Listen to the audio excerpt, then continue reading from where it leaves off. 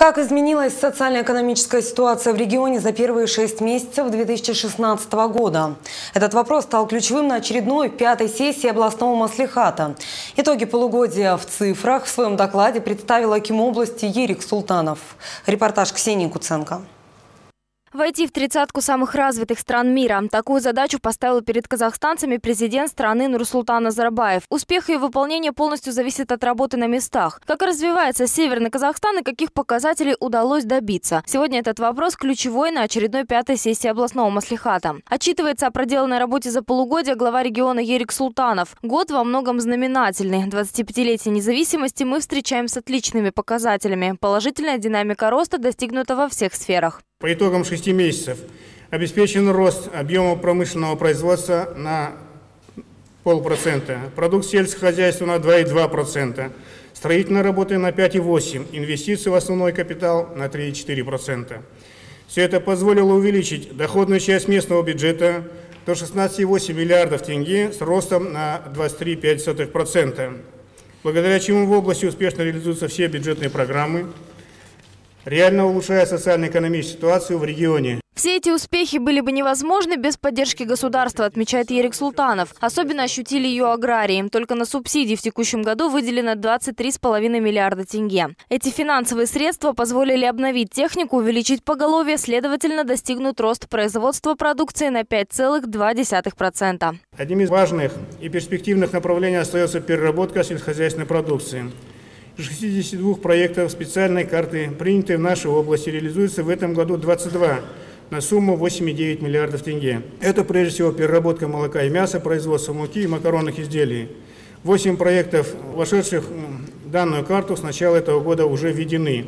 Перед североказахстанцами стоит задача выйти на мировой рынок. Зерно, мясо, продукция перерабатывающих и промышленных предприятий, новые комбайны «Сампа Азия» и тракторы «Батыр». Предложить есть что. Товар качественный и по доступной цене. Открытию большинства производств способствовало государство в рамках карты индустриализации и карты поддержки предпринимательства. Только в последний на сегодня 41 проект с общим объемом инвестиций 33 миллиарда тенге. К слову об иностранных вложениях. За первое полугодие Североказахстанская область получила 58 миллиардов миллиардов тенге. Ремонт дорог, строительство жилья, обеспечение чистой питьевой водой населенных пунктов. Эти задачи выполняются в регионе на должном уровне, как и решение проблем трудоустройства. В рамках реализации программы «Дорожная карта занятости» в первом полугодии ведется ремонт 67 инфраструктурных проектов с созданием более тысячи рабочих мест. Выдано 211 кредитов на сумму 504 миллиона тенге, около тысяч человек трудоустроено на э, существующие вакантные рабочие места. Говорил Ерик Султанов и о показателях, достигнутых в сферах спорта, образования и здравоохранения. Доклад был подробным, народные избранники активно его обсуждали. В частности, актуальную для аграриев тему уборочной страды. Впереди у нас ответственная пора. На полях области выращен хороший урожай.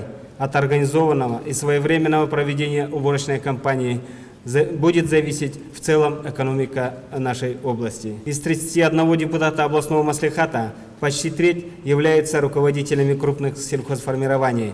И думаю, они меня поддержат, что мы ощущаем мощную поддержку, которую нам оказывает государство в виде инвестиций и субсидий. Только в текущем году предусмотрено субсидии для АПК в нашей области в сумме 17,5 миллиардов тенге. Повышать уровень жизни и дальше. Над этим предстоит упорно работать, отмечает Анатолий Рафальский. Сегодня мы имеем тенденцию роста рождаемости в области – уменьшение общей смертности, в итоге положительная динамика естественного прироста населения. И эти показатели много лет были у нас отрицательными. Встречаясь с населением, с избирателями, особенно на селе, люди неравнодушны и воспринимают положительно проводимую вами, Ирик Александрович, политику президента. Встреча стала своеобразной диалоговой площадкой и для тех, кто хотел задать свои вопросы Акиму области. Молодежь живет образованием, молодежь живет досугом. И, э, к сожалению, хотелось бы сказать, что не э, в районном центре Теншинского района, не в районном центре Габита э, в Новоишинке нет домов культуры. Ерик Султанов поручил рассмотреть возможности открытия домов культуры в каждом крупном населенном пункте. Ксения Гуценко, Михаил Казначеев, Тимур Рахматулин. Новости МТРК.